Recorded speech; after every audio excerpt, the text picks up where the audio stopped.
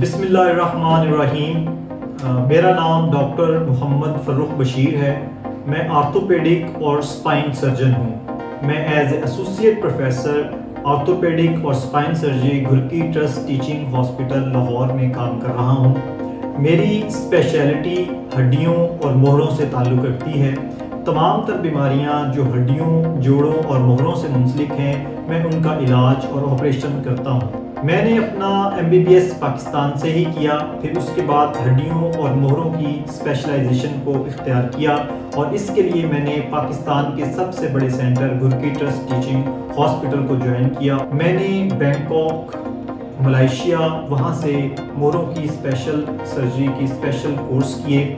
इनमें सबसे अहम और गौरतलब बात यह है ये वो बीमारी है जिसके बारे में पाकिस्तान के अंदर सबसे कम डॉक्टर मौजूद थे, सबसे कम लोग इसके बारे में ट्रेंड थे और सबसे ज़्यादा परेशान लोग कमर की दर्द और मोरों के हवाले से ही थे। और इसके अलावा इसके ऑपरेशन के अंदर जो जिद्दत इस पूरी दुनिया में आ चुकी है, उससे पाकिस्तान अभी बहुत पीछे था। और पाकिस्तान के अंदर जितने भी डॉक्टर साहिबान इनका इलाज कर रहे थे, वो बेहतर इलाज कर रहे थे, लेकिन आज की तारीख में, आजकल के दौर में ये इलाज बहुत तरक्की याफ्ता हो चुका है और बहुत आसानी के साथ होता है, जो यहाँ पे लोगों को इलम नहीं था। इसके बारे में सबसे अहम बात जो मैं आपको बताना चाहता हूँ, वो ये है कि ये वो सर्जरी है जिसके बारे में हमारी आम आवाम बहुत परेशान रही इसके रिजल्ट्स के हवाले से। उस रिज़ल्ट के हवाले से सिर्फ़ पाकिस्तान की आवाम को परेशानी नहीं थी, बल्कि पूरी दुनिया के लोगों को मोहरे की सर्जरी से डर लगता था। इसी चीज़ के लिए साइंस और टेक्नोलॉजी ने काम किया और इसके अंदर सबसे अहम चीज़ कैमरे के साथ मोहरे की सर्जरी है। आम सर्जरी से ये बहुत मुख्तलिफ़ है। आम सर्जरी के अंदर और कैमरे वाली सर्जरी के अंदर क्या क्या फ़ायदे क्या क्या नुकसान हैं, ये भी आपको बताए जाएँगे।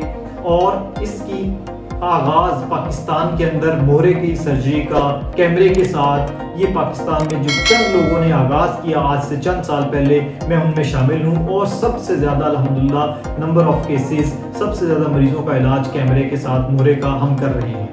सो so, आज आप लोगों को बताने का अपना तारुफ देने का मकसद ये है कि अल्हम्दुलिल्लाह पाकिस्तान के अंदर भी अब लोग मौजूद हैं जो इंटरनेशनल स्टैंडर्ड के मुताबिक लोगों का मोहरे की सर्जरी जो कि एक डर और खौफ था पाकिस्तान में। घुटनों की चेंज करने की तब्दीली कूल्हे के जोड़ों की तब्दीली, ये भी एक डर और खौफ था पाकिस्तान के अंदर कि इनके रिजल्ट्स अच्छे नहीं होते। लेकिन अगर प्रॉपर तरीके से, अच्छे तरीके से और ट्रेंड बंदों से ये चीज़ करवाई जाए, जिसमें नी रिप्लेसमेंट हिप रिप्लेसमेंट या endoscopic spine surgery microscopic spine surgery तो इसका अल्हम्दुलिल्लाह बहुत अच्छा रिज़ल्ट है और बहुत ही फ़ायदेमंद चीज़ है।